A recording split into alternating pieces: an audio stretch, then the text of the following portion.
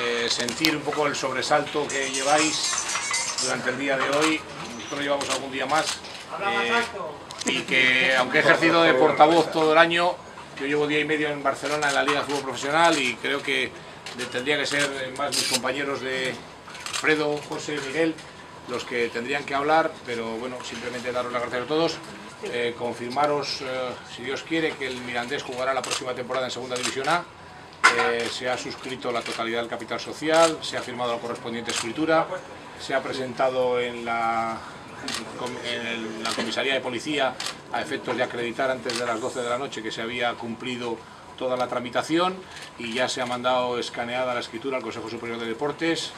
y bueno, incluso ya estamos recibiendo las primeras felicitaciones de, bueno, pues, creo que el éxito de todos y bueno, repetido, daros las gracias y bueno, y que desde mañana empecéis a pasar ya por, por las oficinas a retirar los abonos los que no sean accionistas, ¿vale? Venga, gracias a todos, ¿vale?